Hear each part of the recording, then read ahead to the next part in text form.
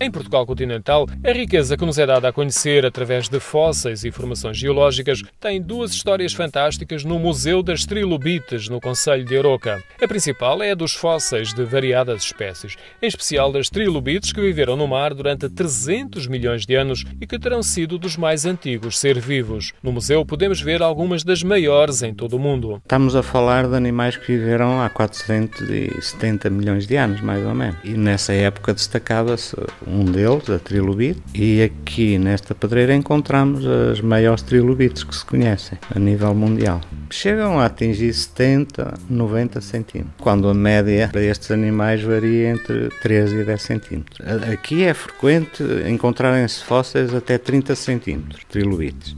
Mesmo assim já são grandes. De 30 centímetros para cima é muito, muito difícil. São raríssimas, mas aparecem algumas. Os detalhes são contados por Manuel Valério, o proprietário do museu e da pedreira de Ardósia, que está nas proximidades. E aqui entramos na segunda história fantástica, porque desde o início da extração teve sempre a preocupação de salvaguardar o património encontrado e de o dar a conhecer no museu há 14 anos. Desde 2006, é um processo muito antigo que já começou há 32 anos, quando reabrimos esta pedreira e nos deparamos com estes fósseis e valorizamos esses achados Fizemos uma recolha, fizemos uma coleção, exibimos e tivemos que também construir um espaço para ir mostrar, porque não fazia sentido ter esse material escondido. Não é? Aqui estamos a trabalhar para produzir produtos para a construção e, paralelamente, temos sensibilidade e vamos então guardando todos os vestígios. A iniciativa alarga-se a projetos científicos e o museu faz parte do Centro de Interpretação Geológico de Canelas. O museu tem dois pisos, percebemos através de vídeos, textos e imagens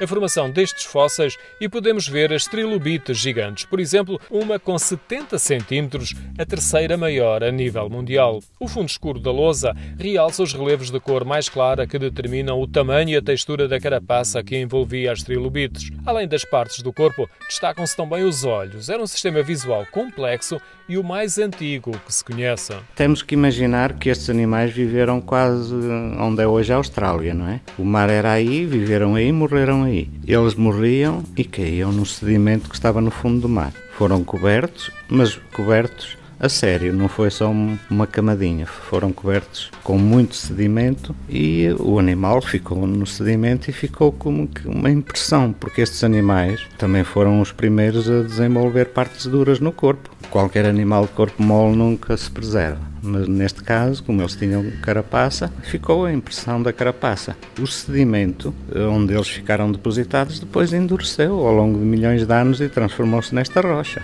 Esta rocha era sedimento no fundo do mar. É por isso que esta rocha abre também às camadas, não é? Porque se formou às camadas. Os animais ficaram no meio das camadas. São camadas muito finas, muito finas. de areias muito Sim. finas, não é? E depois, como este material também sofreu muita pressão e calor do interior da Terra, pronto, adquiriu esta propriedade de abrir mesmo muito fino. Referiu-me que estariam na Austrália. Como é que chegaram aqui? Ah, isso, isso, tem a ver com a deriva dos continentes, não é? O movimento. Depois, eh, podemos dizer que estas rochas, de facto, pararam aqui nesta região, só que depois tiveram um outro efeito, que foi o serem levantadas. Estas rochas estariam na horizontal a grande profundidade, mas devido ao choque continental, a crosta terrestre dobrou toda, não é? Formaram-se estas montanhas e os materiais foram como que levantados. Por isso que estão hoje cá no cimo da, do monte, não é? O estaleiro onde é trabalhada a pedra fica a pouco mais de duas centenas de metros.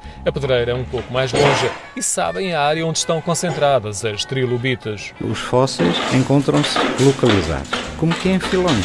Imagina, a pedreira tem uma determinada dimensão, mas os fósseis estão localizados em duas ou três camadas muito estreitas e é aí que aparecem os fósseis, porque a maioria, 98% da rocha, não tem fósseis ou terá muito pouco. Nós sabemos, quase que conseguimos programar o aparecimento dos fósseis. Estamos por vezes meses e meses sem encontrar um fóssil, mas depois, no período de uma semana ou duas, podemos encontrar 20 ou 30 por dia. É mesmo assim. Quando nos aproximamos dessa camada, aí temos mais cuidado, porque é aí mesmo que eles vão aparecer. Isso facilita muito. Depois, outro motivo muito importante é que os fósseis coincidem com a xistosidade da própria pedra. Ou seja, o fóssil está paralelo a essa xistosidade e quando se abre a pedra eh, em placas finas, se ela tem um fóssil, a pedra tem tendência a abrir sempre no sítio do fóssil, porque é uma fragilidade que está ali, é algo descontínuo que está ali e a rocha abre lá. É outra vantagem muito importante. Que significa que eles também tinham casca dura, não é? A expressão que hoje usamos.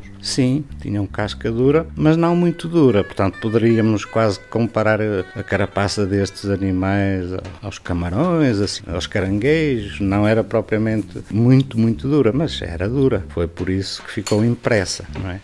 Mas não encontramos nada do animal, porque ele foi completamente substituído por minerais.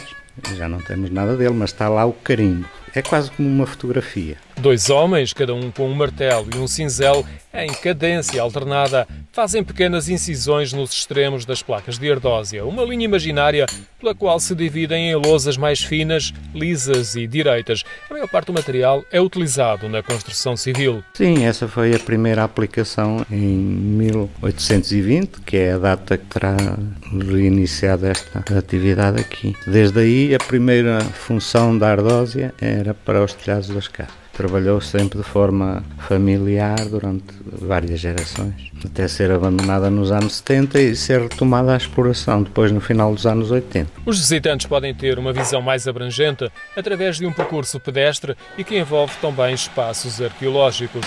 Mesmo que a visita fique só pelo museu, para alguns o dia está a ganho. A maioria dos visitantes idosos que vêm aqui ficam surpreendidos, porque na verdade nunca imaginavam que existiam animais assim tão antigos e ficam surpreendidos. Qualquer visitante assim idoso sai daqui e normalmente diz: Hoje aprendi alguma coisa. Uma das curiosidades é que as trilobites eram seres gregários e nos registros vemos várias em fila. Citando Manuel Valério, pelos vistos, a fila indiana já vem do tempo das trilobites.